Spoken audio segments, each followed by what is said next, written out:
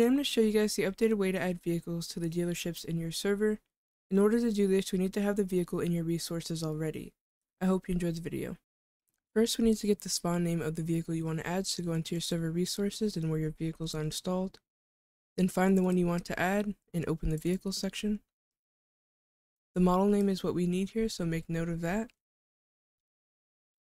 Then go back to your resources, go into QB, QB Core, Shared, and then open the vehicle section.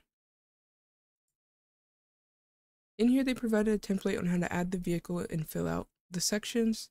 The links here are important when it comes to filling out the category and type. So I'm going to take this one here and copy it, then paste it above it and start renaming the information. So the model is the spawn name we looked for earlier. The name is what the vehicle will be displayed as.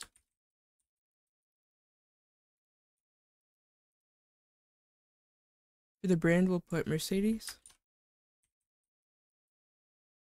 And for the price, I'll do 70,000. Now for the categories, you have to list the vehicle under one of the default or preset categories or you'll have issues storing the vehicle in the garage. So I'm going to put this under sedans and the type will stay as automobile. If you're adding a motorcycle, the type will be bike and so on. You can reference the links they left here if needed. And lastly, I'll be putting this in the luxury shop. After you've added all the information, hit file and save. Then you can start your server and test it out. Alright, so I'm in the server and I have the car dealer job. So go ahead and swap to the vehicle.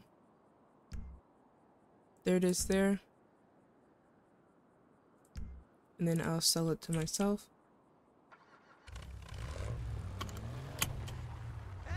And then we'll go to the nearest garage and park it.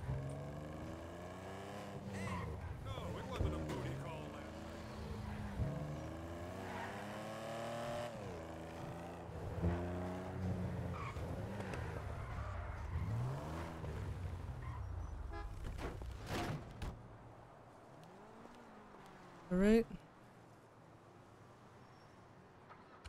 Then take it out again.